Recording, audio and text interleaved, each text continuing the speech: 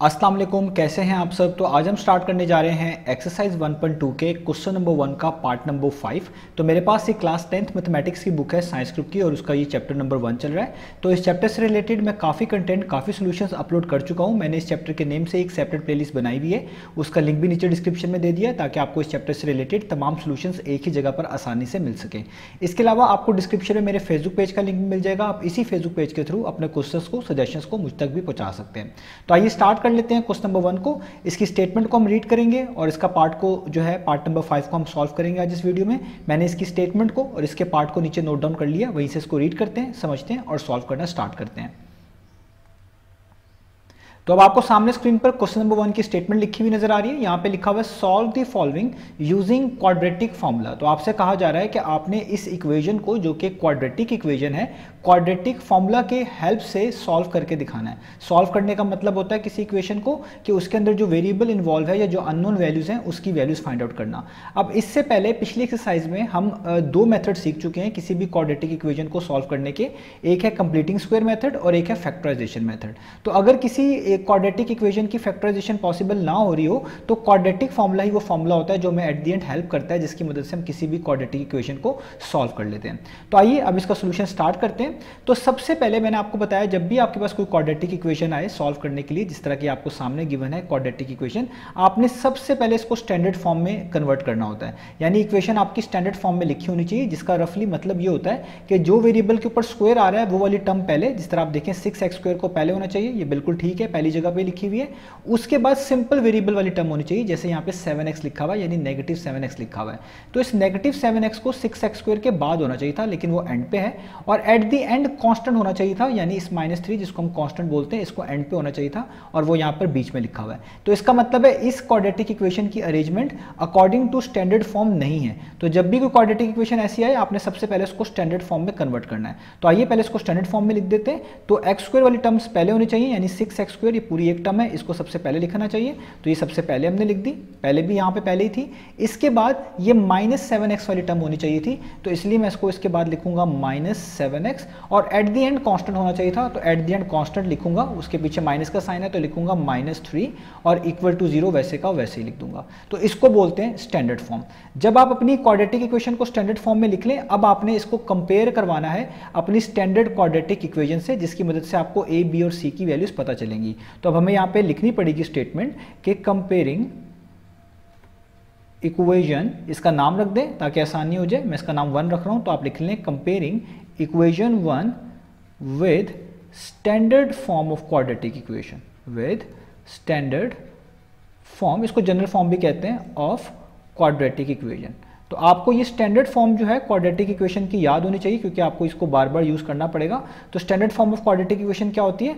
वो होती है, आगे मैं लिखने लगा वो होती है a x square plus b x plus c equal to zero यानी बिल्कुल वैसे ही जैसे मैंने आपको भी ऊपर समझाई थी कि जिसके अंदर आपके पास एक्स स्क्र वाली टर्म्स पहले सिंपल एक्स वाली टर्म बाद में और कांस्टेंट एंड पे आता है। अब एक्स की जगह पे कोई भी वेरिएबल हो सकता है, बस मैंने आपको उसकी निशानी के तौर पे बता दिया कि उसके ऊपर स्क्वायर होगा तो उसको आपने स्टार्ट में रखना है। तो अब आपने इस वाली इक्वेशन को इक्वेशन नंबर वन को और इक्वेशन नंबर टू को कंपेयर करना है। कंपेयर कैसे करेंगे?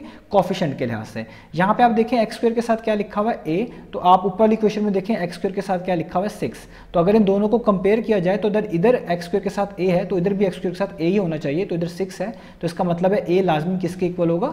सिक्स के। तो आपको पता चल गया कि ए की वैल्यू क्या है? सिक्स तो ये आपने यहाँ पे लिख देनी है कि ए की वैल्यू हमारे पास क्या आई है? वो आई है सिक्स ठीक है? अब आगे चलते हैं। बी की वैल्यू निकालते हैं तो इधर एक्स के साथ बी है तो उधर एक्स के साथ क्या है? माइनस सेवन अगर इधर एक्स साथ बी है तो उधर भी एक्स साथ बी होगा तो उसका मतलब है जो माइनस सेवन है, वो बी के इक्वल है। तो इसलिए आप यहाँ पे माइनस सेवन लग दें। एट दी एंड सी है तो सी एंड पे कॉन्स्टेंट है, उधर एंड पे देखें क्या कॉन्स्टेंट है, उधर एंड पे माइनस थ्री है। तो आप सी को लिख देंगे माइनस थ्री के इक्वल तो इससे आपको पता चल गया ए की वैल्यू सिक्स है बी की वैल्यू माइनस सेवन है और सी की वैल्यू माइनस थ्री है। इसको आप खुद से भी देख सकते थे कि एक्स स्क्वेयर का जो कॉफिशियंट होता है, यानी एक्स स्क्वेयर के साथ जो लिखा होता है उसको ए बोलते हैं सिंपल एक्स के साथ जो लिखा होता है उसको बी बोलते हैं और एट द एंड जो बच जाता है उसको कॉन्स्टेंट यानी सी बोलते हैं। इनका साइन का आपने ख्याल रखना है। तो जब आप इस सारा प्रोसेस कर लेंगे, अब आपने यहाँ पे क्वाड्रेटिक फॉर्मूला लिखना है तो आप यहाँ पर लिखेंगे बाय यूजिंग क्वाड्रेटिक फॉर्मूला अब आपको एक क्वाड्रेटिक फॉर्मूला याद होना चाहिए, क्योंकि आपको लिखा हुआ नहीं आएगा। आपकी मेमोरी में होगा तो ही आप इसको लिख पाएँगे। तो क्वाड्रेटिक फॉर्मूला क्या होता है? क्वाड्रेटिक फॉर्मूला होता है X is equal to minus B plus minus square root of B square minus four A C over two है। जब इसको आप मल्टीपल टाइम्स यूज़ करेंगे अपने क्वेश्चन में, आपको ये याद ही हो जाएगा। अब आपने जस्ट ऊपर से जो ए बी और सी की वैल्यूज़ हैं, वो इसमें पुट कर देनी है। अब याद रखें यूजुअली यहाँ पे एक्स ही आता है, लेकिन ये लाजमी नहीं है। अगर आपकी इक्वेशन में वेरिएबल वाई होगा तो आपने यहाँ पर वाई लिखना है। तो अभी एक्स ही है तो एक्स ही लिखेंगे इक्वल का साइन बी की वैल्यू लिखेंगे, आप देख सकते हैं बी की वैल्यू माइनस सेवन है, एक माइनस यहाँ पर बी है। तो एक माइनस पहले ये वाला लगा देंगे और बी की वैल्यू इस तरह ब्रैकेट्स में माइनस सेवन लिख देंगे। प्लस माइनस का साइन यानी दो पॉसिबल वैल्यूज़ होंगी, एक पॉजिटिव एक नेगेटिव आगे इस तरह का रूट हम यूज़ करेंगे। करेंगे बी पे स्क्वायर आ रहा है, आप देख सकते हैं तो माइनस सेवन वैल्यू पुट करें बी की जगह पर और उसके ऊपर आप इस तरीके से स्क्वायर डाल दें ब्रैकेट्स डाल के। माइनस फोर वैसे ए आपके पास सिक्स है, यहाँ पे पहले ही मैंशनड है, आप ए की जगह पे लिख दें सिक्स और सी आपके पास माइनस थ्री है तो उसकी वैल्यू यहाँ पे ब्रैकेट्स में लिख दें माइनस थ्री अब इस तरीके से नीचे लाइन डालें और नीचे टू ए है तो टू लिखें और ए की वैल्यू सिक्स है तो ब्रैकेट्स में इस तरीके से सिक्स लिख लें. तो मैंने ए बी और सी की वैल्यूज़ यहाँ पर पुट कर ली. अब आपने क्या करना है? इनको सॉल्व कर लेना है. तो ये माइनस माइनस क्या होता है? प्लस यानी ये प्लस सेवन हो जाएगा. आगे प्लस माइनस वैसे का वैसे ही स्क्वायर रूट डालें. किसी भी नेगेटिव नंबर का जब स्क्वायर करते हैं, यानी ब्रैकेट्स लगी होती हैं और वो स्क्वायर होता है तो वो पॉजिटिव हो जाता है. तो सेवन का स्क्वायर क्या हो जाएगा? 49 यानी आप यहाँ पे लिख सकते हैं पॉजिटिव 49 मैं आपको कैलकुलेटर से भी करके दिखा देता हूँ, आपको अलाउ है तो माइनस सेवन का स्क्वायर करें तो देखिए क्या आता है 49 तो आप यहाँ पे लिखेंगे 49 अब ये तीनों वैल्यूज़ मल्टीप्लाई हो रही हैं तो आप इसको मल्टीप्लाई करके यहाँ पे लिखेंगे फोर सिक्स से मल्टीप्लाई हो रहा है और माइनस थ्री से। तो four multiply by six multiply by minus three ये मैंने कैलकुलेटर में टाइप किया तो आया माइनस सेवेंटी टू एक माइनस पहले ही है तो माइनस माइनस प्लस तो प्लस सेवेंटी टू आप लिख देंगे। साइन का आपने ख्याल रखना है टू सिक्स टाइम्स कितना होता है ट्वेल्व अब नीचे आ जाए X is equal to plus seven plus minus अब आपने यहाँ पे क्या करना है? 49 में 72 को ऐड कर देना। तो 49 नाइन प्लस 72 तो आपके पास क्या आ गया? 121 तो यहाँ पे आ गया 121 उसके ऊपर स्क्वायर रूट और नीचे आपके पास क्या बच गया? नीचे आपके पास बच गया 12 इस तरीके से। अब आपने इसको फर्दर सॉल्व करना है। आपको पता है ये स्क्वायर रूट जो लिखा हुआ है 121 121 एक परफेक्ट स्क्वायर होता है। स्क्वायर रूट ऑफ़ 121 11 के इक्वल होता है। आप कैलकुलेटर से भी कर सकते हैं, जैसे मैंने किया, ये 11 के इक्वल आता है। तो इसका मतलब है, इसका आंसर होगा X is equal to plus seven plus minus क्योंकि स्क्वायर रूट ऑफ़ 121 11 के इक्वल है तो उसकी जगह पे 11 और नीचे 12 लिख देंगे। अब इस चीज़ को आपने दो तरीकों से सॉल्व करना है। आप इसी चीज़ को लिखेंगे, इसका मतलब है x is equal to seven इसके पीछे प्लस लगा लें तो ठीक है, ना लगाएँ तो भी ठीक है। एक बार plus eleven divided by twelve और एक इसकी वैल्यू ये हो सकती है, x is equal to seven और एक बार माइनस इलेवन और नीचे ट्वेल्व तो ये जो प्लस माइनस लिखा होता है, इसका मतलब होता है दो पॉसिबल वैल्यूज़ हैं। एक बार प्लस के साथ सॉल्व करें, एक बार माइनस के साथ सॉल्व करें। तो अब 11 में 7 आप ऐड कर दें तो कितना हो जाएगा 18 और नीचे आपके पास क्या आ जाएगा? 12 इसको आप कैंसिल आउट कर लें। तो आपको पता है ये दोनों के दोनों जो है, आपके पास सिक्स पे कैंसिल आउट होते हैं। सिक्स टू टाइम्स ट्वेल्व होता है सिक्स थ्री टाइम्स एटीन होता है। तो क्या आ गया? थ्री ओवर टू आप कैलकुलेटर में भी टाइप करेंगे तो आपको पता चल जाएगा। अब यहाँ पर भी आप देख लें, क्या है हमारे पास? सेवन माइनस इलेवन तो सेवन माइनस इलेवन करें।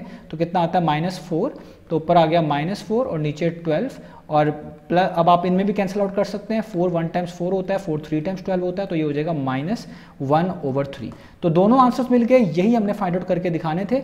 अब जस्ट इसको आपने सोल्यूशन सेट के फॉर्म में लिखने आप लिखेंगे सोल्यूशन सेट इस तरह की ब्रैकेट्स डालेंगे। और इन दोनों में से किसी को भी पहले लिख सकते हैं तो मैं लिख देता हूँ three over two comma minus one over three तो ये मैंने दोनों एक्स की जो पॉसिबल वैल्यूज़ हैं सोल्यूशन सेट के अंदर लिख दी, यही हमने निकाल कर दिखानी थी। यही हमारे क्वाड्रेटिक इक्वेशन के इस के आंसर्स हैं। तो उम्मीद है आपको ये वाला पार्ट समझ आया होगा। तो हमने पार्ट कंप्लीट कर लिया। हमारा आंसर आ गया थ्री ओवर टू और माइनस वन ओवर थ्री इसी को हमने सोल्यूशन सेट में लिख दिया।